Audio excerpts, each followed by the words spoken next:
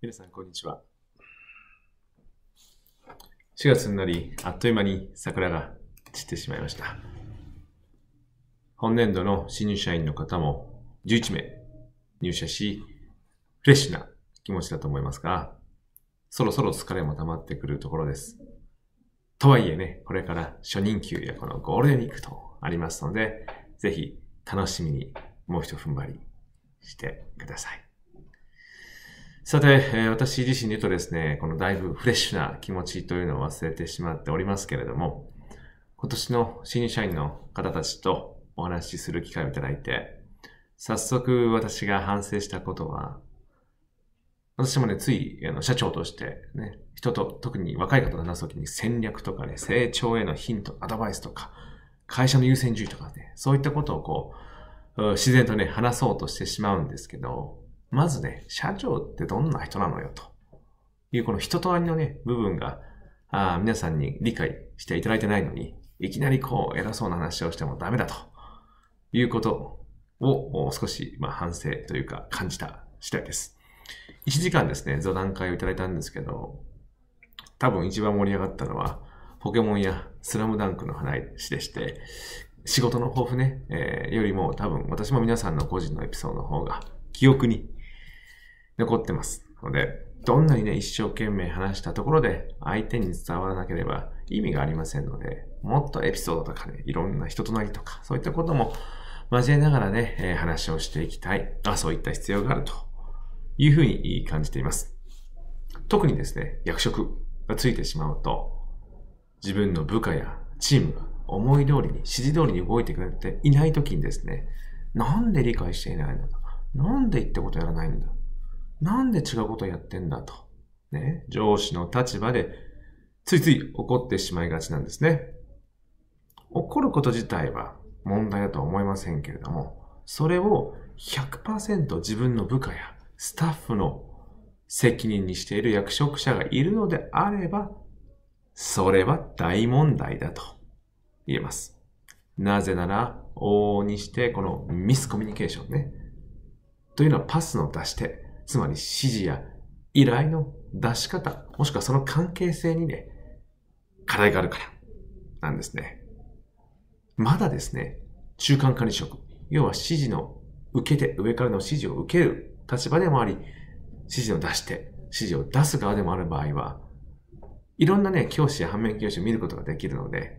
自分を成長させやすいんですけれども、最悪なのはね、私のような経営者や部門長なんですね。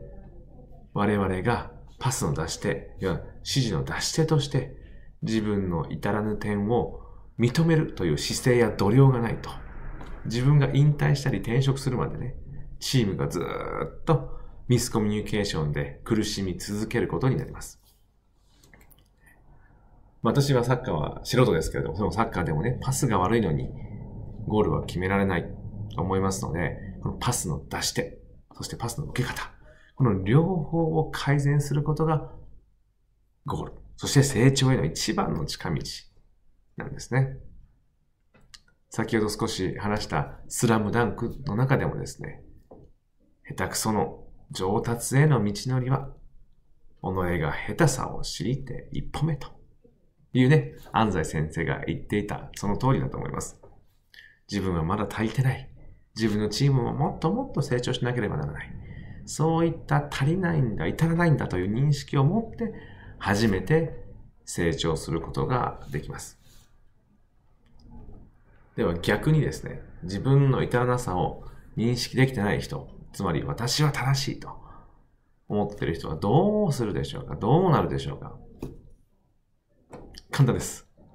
他人のせいにするんです。相手の理解力やレベルが低い。相手の部署のやり方がおかしい。この会社の仕組みがおかしい。〇〇さん、〇〇部門はこうするのが当たり前。とうとうですね、自分の接し方や伝え方は問題なくて、相手側に100%問題があるとする人がね、皆さんの周りにもいるのではないでしょうか。まあ、そういった人がですね、役職者になってしまうと、部門間やチームのコミュニケーションはうまくいきません。ですので、少なくとも我々のグループの中ではそれを減らしていきましょう。相手に相手にではなくてもっと自分にですね、ベクトルの矢印を当てて、腹が立つことも、納得がいかないことももちろんあると思います。でもその全てはですね、自分を成長させる養分として、ね、この会社で起きたことを活かしていく。そしてこの自分をどんどんどんどん成長させていくことが会社での成功の近道でもありますし、この自分にベクトルを当てて自分を成長させていくということは、プライベートでも人間関係でも絶対に、絶対に役に立ちますので、ぜひね、皆さん自分、卑下してほしいわけじゃないです。自分ができない、悪い人間じゃなくて、自分がもっとできるんだということで、ベクトルを自分に向けて、どんどんどんどん成長していっていただきたい。そう思っています。では、これから少しずつ暖かくなりますけれども、皆さん、また元気に、えー、過ごしやすい春をですね、満喫して乗り切っていきたいと思います。ではまた来月。